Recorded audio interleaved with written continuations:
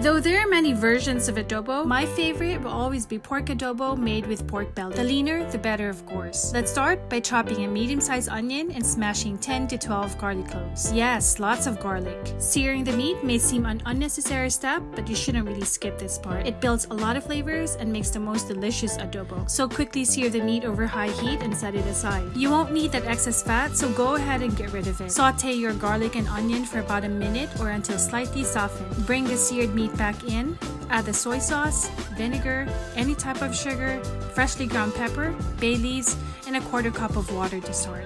Mix them and tuck most of the meat into the liquid. Lower the heat and let it simmer for 45 minutes to an hour. Check the meat for desired tenderness, give it a taste, spoon the fat layer out, and it's done. White rice is non-negotiable. Just kidding. A creamy boiled egg and some scallions are nice little extras you can add. For this recipe and more, visit recipesbynora.com.